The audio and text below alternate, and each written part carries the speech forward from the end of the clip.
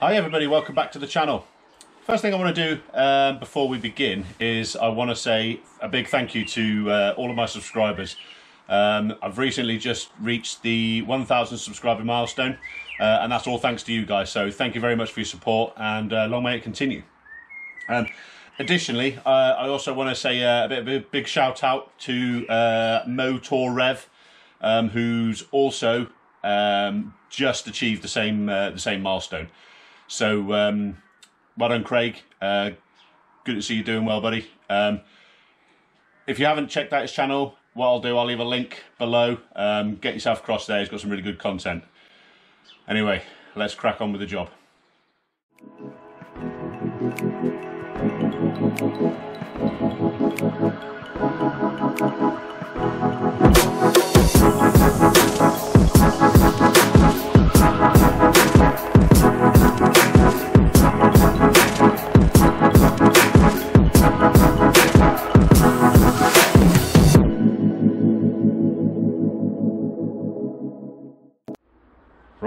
We're going to do in this video, um, as a bit of a follow on from the previous, if you haven't seen the previous video, go check it out. Um, what we're going to do is we're going to bleed up this clutch. Uh, those of you that joined me last time will, uh, will have seen me replace all of this um, so that we've got a working system. All we need to do is bleed the clutch up. So here's a clutch, slave cylinder, master cylinder. Obviously we need to bleed them up. The other thing we're going to do is we're going to replace this broken gear shifter. As you can see, it's completely snapped off. Um, so we'll, uh, we'll we'll pull that apart shortly. Uh, I'll do the clutch first. However, first thing I'm going to do is really really quick and easy job.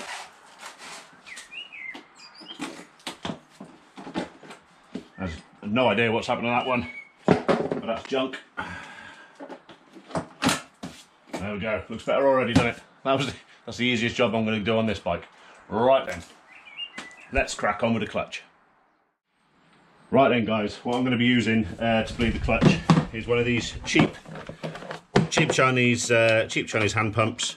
Um, I've mentioned this in a previous video that I did uh, when I bled the clutch on my VFR. If you haven't seen that video, what I'll do is I'll pop it up on the screen right now. So you can uh, pop over there and see uh, see how I did it. And that was a bit more of a how-to. This one, I'm just going to run, you know, do a quick run through. So pop across to that video and have a look at the uh, the how-to and um, I'll, I'll, explain a little bit about uh, this tool and where I got it from. There's a link in the description to that video as, as to where I got it from. It's only like 12 quid, so it's well worth picking up. Anyway, what I'm going to do first is I am going to, um, I'm going to top up the fluid in the clutch. Let's remove the spacer and the little rubber gasket. Pop them down to one side. Okay.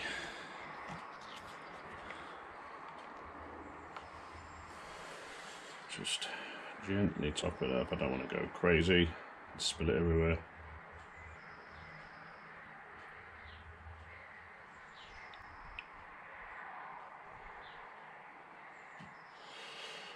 Right, I've deliberately gone way over the max because I'm going to pull some fluid through into the system.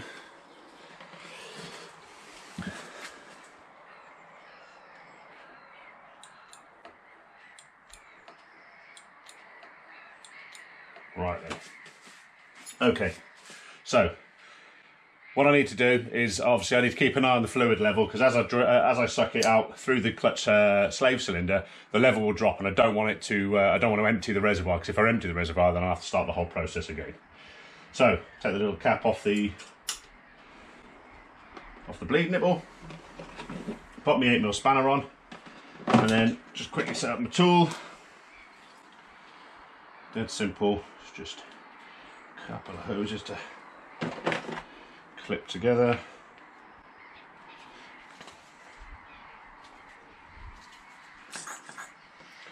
Make sure it's still working. And if I let go, it should drop. Yeah, there we go. Right, okay. So we're all good. So what I need to do, pop that end onto the bleed nipple crack it off and pump and we should get fluid coming through as we are This will be the old fluid out the line. As you can see, the fluid level is dropping in the reservoir.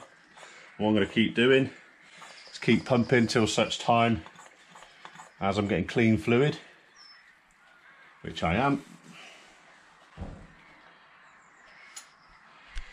Okay, let's pop that down. Check the reservoir, right, okay, it's between the upper and the lower, so what I'll do is I'll top it up so it's at the upper.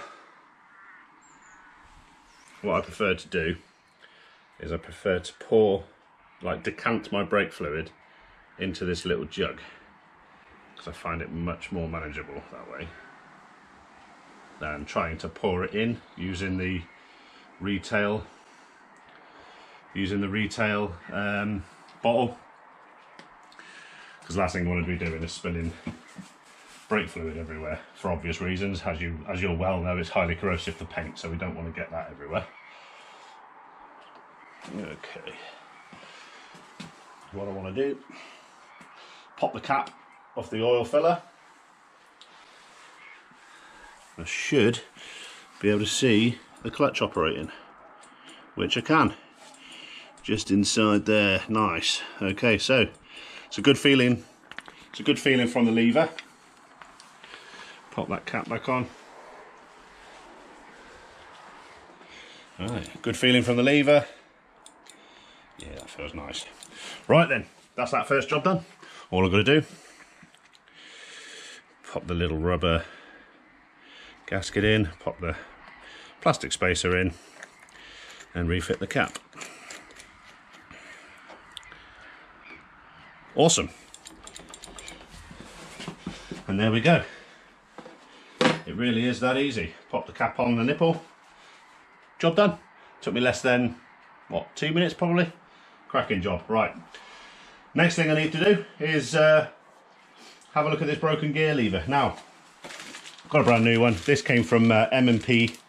Uh, M&P I'm sure people are familiar with. It's a, it's a uh, motorcycle factors. They, they supply parts for all sorts of all sorts of machines, um, and this is this is an OE pattern part. It's not uh, not a genuine not a genuine item. So, uh, but you know, it, it looks pretty good. Looks looks to be the same. So what we'll do, although this one does seem a little bit thinner on the arm, but I, I can't see that being a massive drama. And this rose joint here doesn't have the uh, doesn't have the rubber boot on it so we could probably um we could probably remove the boot from here and fit it to this one. I can have a look at that uh, once we get it off. So first thing I'm going to do is I'm going to crack off the um, crack off the nut on the selector. Uh, the bolt sorry on the selector. Let's crack that off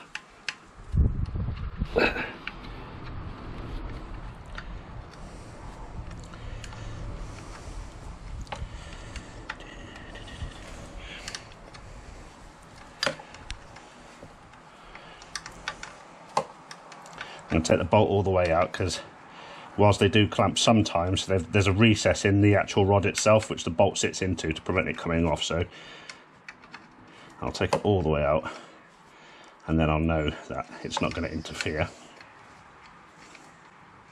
Come on.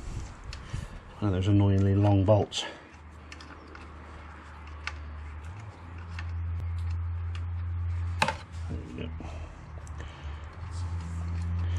Right. What you'll notice I've done, just on here, with the scriber, I've just marked a line there and on the rod, so that when I come to put it back together, I know that the height for the gear lever will be correct. And then just wiggle it off.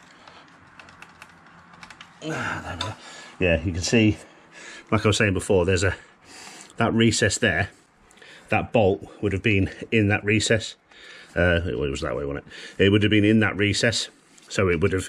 It without if I hadn't taken it all the way out, that wouldn't have come off. So right, next thing is uh, the two bolts holding the rear set to the chassis.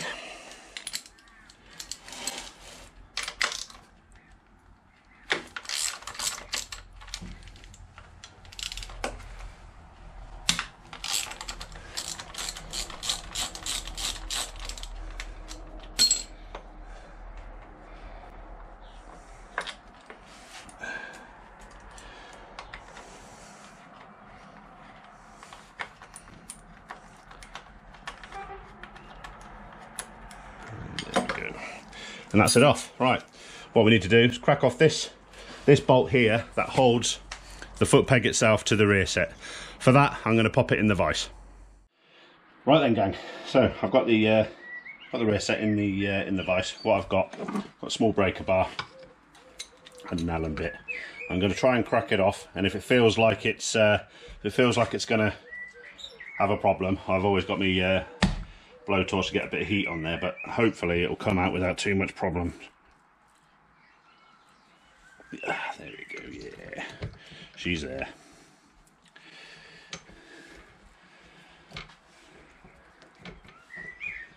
She's there, no problem whatsoever.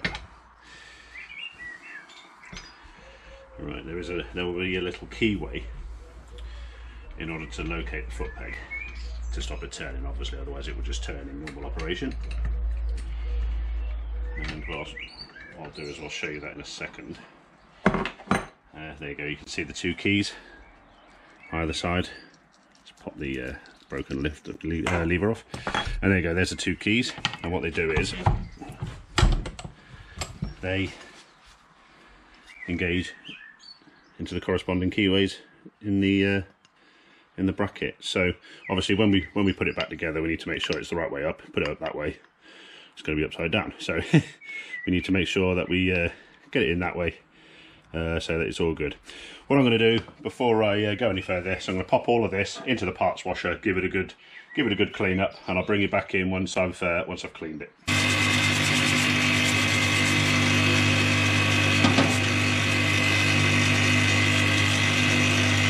Okay then, so that's the uh, that's the parts given a bit of a spruce up in the uh, in the parts washer. Now what I need to do is I need to remove the broken the broken uh, gear lever from the rod. Now what I need to do is uh, crack off this lock nut. Now it's worth bearing in mind that the lock nut at this end is a left hand thread.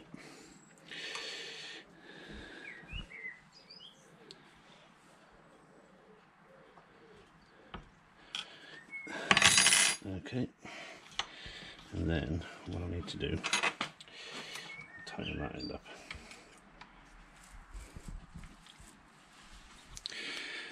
And what I need to do is I need to get this to come off. Annoyingly, it's wanting to come off at the opposite end.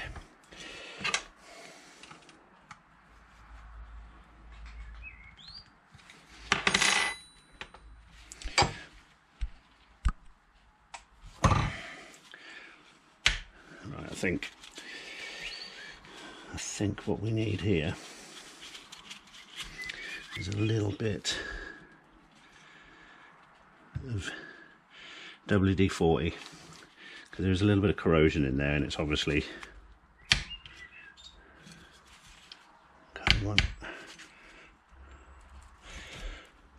yeah I'll get a bit of WD-40 in there and uh, we'll let that soak in. I don't want to use any heat on it if I can because I want to use this rubber boot um, on reinstallation of the new one. So I'll get a bit of WD-40 in there and then uh, I'll leave it for five minutes and then I'll bring it back.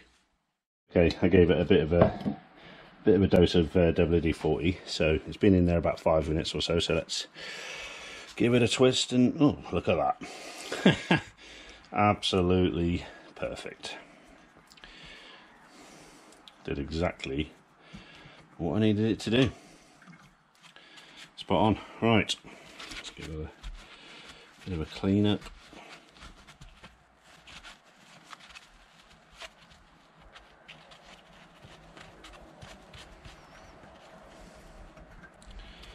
Yeah, it's all good. Right then, what I need to do next is get this rubber boot off of the rose joint and then fit it onto the new part. Shouldn't be too difficult. Uh, quite a lot of rust coming out of there. So I'll give this a good clean out inside uh, and then uh, I'll fit it on the new part. Okay then, rubber little uh, little rubber cover is off. What I'm going to do is pop a bit of grease in around this in and around this joint front and back just to make sure it's got a bit of lube. And it should uh, keep it in better condition than that one.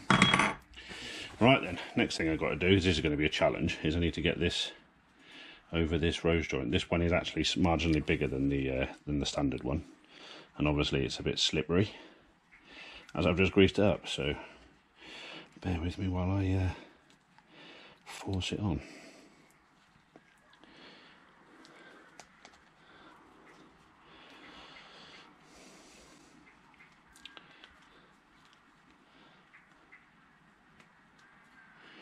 And there she is.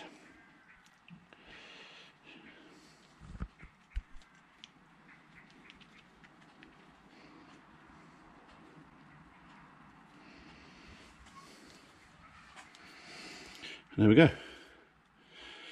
Job done. Right, next. Let's put a touch of grease on the uh, on the threads there. And thread the new one back on to the post.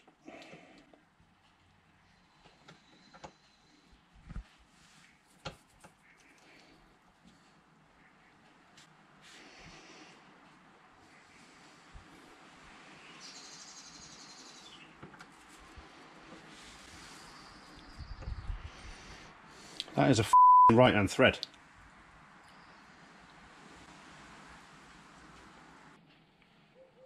Okay, so I hit a bit of a pitfall, and uh, it's one you do encounter on occasion when you uh, buy pattern parts. This rose joint, that thread, is uh, a conventional right-hand thread. Now the, the thread on the rod was a left-hand thread, as was the rose joint on the original gear shifter. So you can see that they weren't going to be compatible. So I had a little bit of a think, and what I've done is I've removed the rose joints from the original gear shifter. I removed the rose joint from from here and what I've done is I've swapped them over. So this did have a right hand thread on. It's now got a, a left hand thread from the original gear shifter. This is a conventional right hand thread and now the right hand thread end of the rod is now available for me to fit that. So it was a bit of a faff um, but I got there in the end. If nothing else, it gave me the opportunity to put loads of grease inside this rose joint. So as you can see, it's nice and nice and loose. There's loads of grease inside there, and there's uh, there's no doesn't feel to be any lateral movement. All the movement is in the joint itself. So I'm happy with that. I'm a little bit disappointed in the fact that this didn't uh, this didn't fit in the first place without me having to bodge it. Uh, and I say bodge hmm, in the loosest sense of the word. Uh, I overcame that's what we'll call it. Well, I overcame. Right, so now what I'll do, I'll put this boot back on. Now that I've finished messing around. Um, and uh, yeah, we can uh, we can carry on with the rebuild. So yeah, that's uh, that's one thing worth bearing in mind if you're going to use pattern parts. Uh, I could have sent it back. That would have meant a delay, and I couldn't be bothered. So anyway, let's uh, let's get it back on. There we go, look, it's going straight back on. No worries whatsoever. I'm going to put it around about there. Round about there.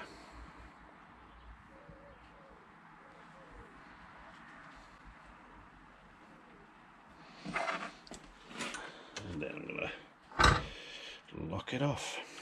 Okay, that's all done. Let's uh, let's get it back on the bike. Right, before I uh, go to the effort of putting it all back together, what I'm going to do is I am going to pull apart the actual peg itself. Pull apart the peg itself, and just give it a uh, give it a bit of a clean and a grease up. Massive hammer.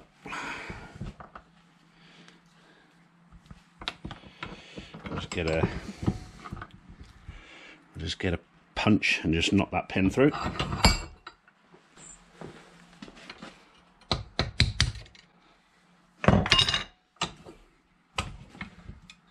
Okay, there we go.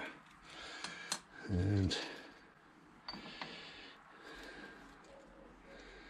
As you can see, it's pretty bogging in there. So what I'll do is I'll give it a give it a good clean up. That bush should come out. There we go. Come up there. And the spring. Give it a good give it a good clean, get a bit of grease in there. That should keep it going for a good few more years yet.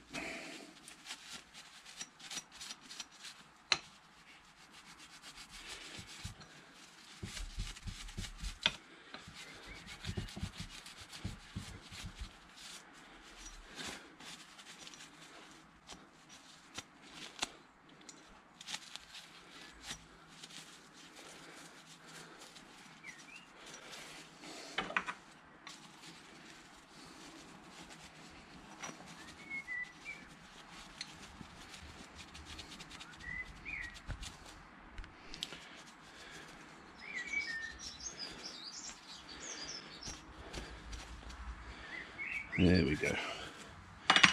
Happy with that. Let's just give these parts a good scrub. Still got some uh, cleaning fluid on them from the uh, parts washer, so that's helping.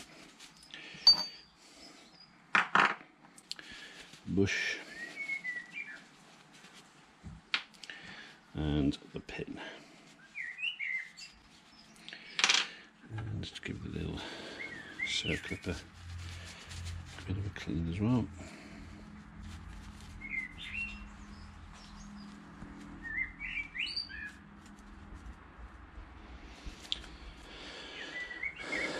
And lastly, the spring.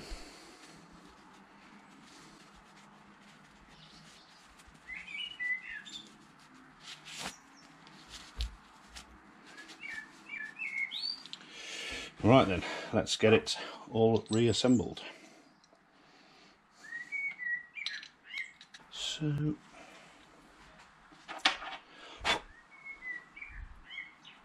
slippery fingers. Get the pin through. And then lastly, just a case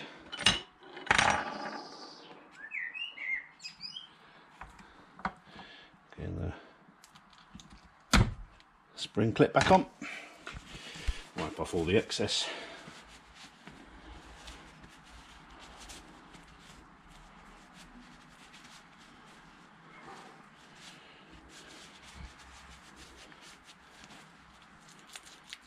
There we go. Right then.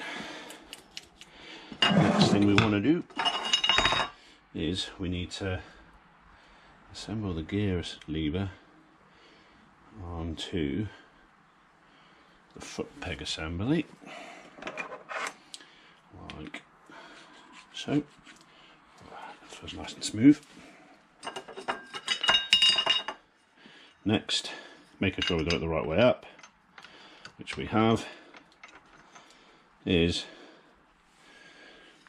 fixing it onto the rear set.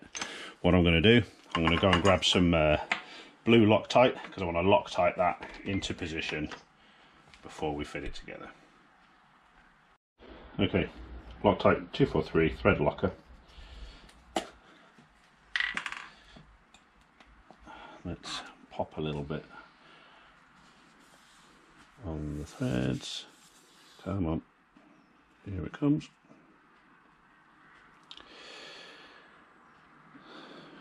that will do it. Don't need to go crazy with it. We want, maybe want to get it off again one day. Right. Again making sure it goes on the right way up which is that way. Pop the bolt in the hole.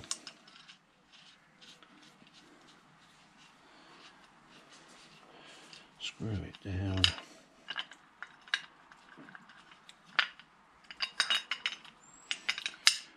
with three hands here.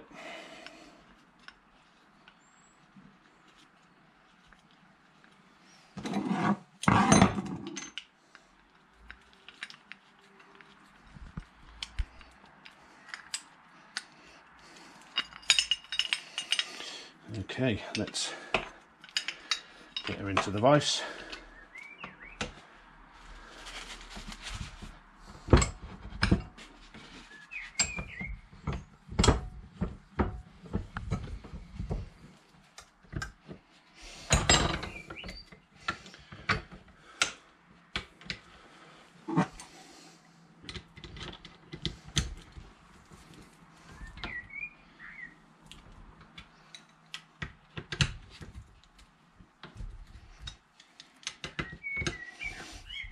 Now, I did look through the manual and could not find anywhere a uh, torque figure for this bolt. So I'm going to give it a couple of white knuckles and pull it tight. I reckon that'll be more than enough. Especially with the thread lock on it as well. Okay, so there we go. We've got, oh, that feels really, really nice and smooth. No, no funny noises at all, so happy with that. Right then, let's get it on the bike.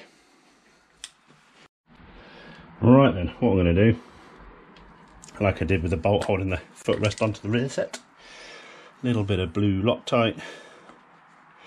I did give these a bit of a scrub with a wire brush.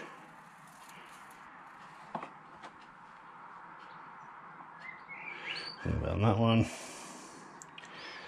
And a little bit on that one. Okay. Right.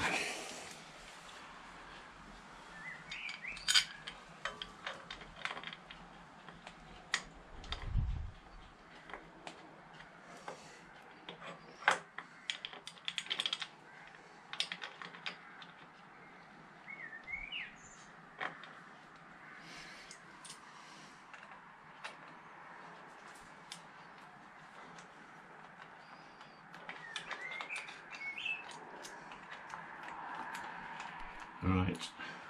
Whilst I was in the manual, I did forget to look at the uh, torque setting for these. Uh, but what I'll do, I will go back, have a go through. I'll just nip them for now. I'll go back and have a look. And I'll come back and torque them later on. Okay, so let's pop this back on.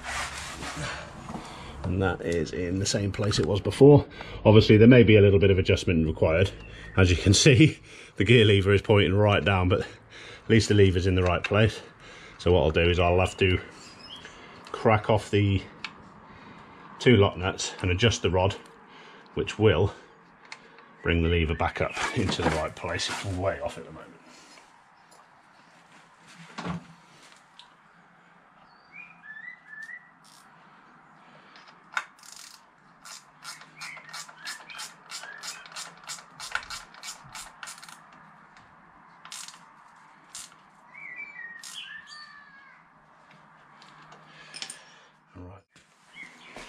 Okay.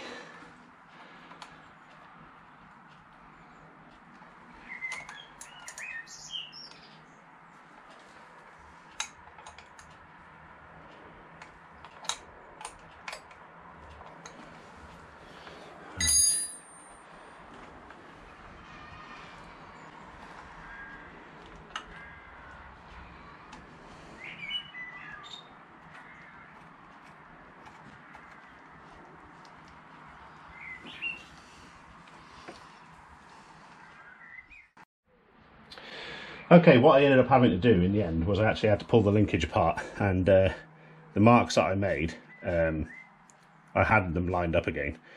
Uh, I pulled it off, rotated it ever so slightly. I think I turned it uh, about one notch and that was enough to bring it in. Basically what happened was I ran out of adjustment in this because this rose joint is much longer than the one I had previously. So it was throwing the setting out massively. So yeah, it, it was it was recovered just by moving moving the linkage one one notch round on the uh, on the teeth. Anyway, got there in the end. All looking good. The, the bike, um, as it stands now, with the with the exception of the screen, is actually rideable. Um, I do need to fix these exhausts because uh, they're ever so slightly pushed in on both sides actually.